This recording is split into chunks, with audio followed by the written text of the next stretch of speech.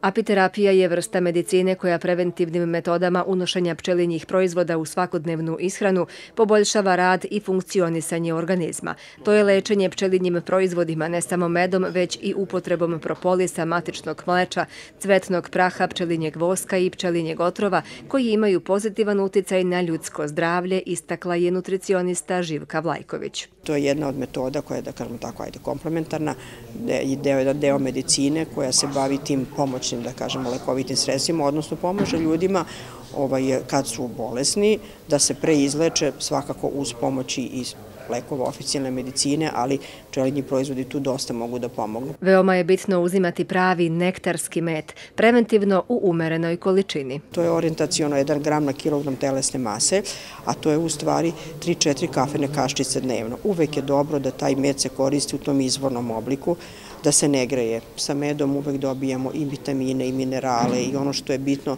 to su te neke žive materije ili enzimi koji u medu zapravo postoji, koji ga kao takvog i deklarišu kao živu hranu. Predavanje je organizovalo Udruženje staropazovačkih pčelara, ali okupili su se pčelari iz cele opštine Stara Pazova. Na primjer, proizvodnja matičnog mleča ovdje se to malo proizvodi, a e, matični mleć je dragocen za organizam čovjeka. Med koristimo svakodnevno, svi ukućani zajutra i unučad i prijateljima, jer med nije e, hrana, med je lek. Živka Vlajković je autor nekoliko vodiča o pravilnoj ishrani za trudnice, dojilje, bebe i decu do 18 godina.